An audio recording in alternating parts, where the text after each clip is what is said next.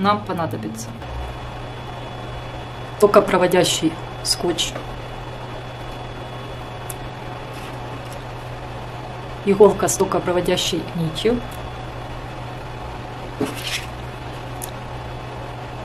латунные кнопки,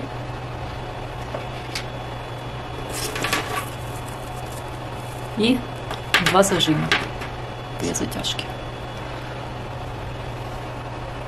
Немного магии, и мы получаем нашитые токопроводящие зоны, отдельно земля вот, и сверху кнопки. Точно так же нижний слой и кнопки. Также кнопки припаяны к UMG.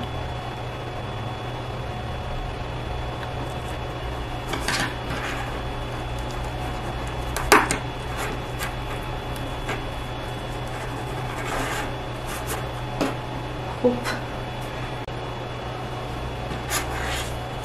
И вот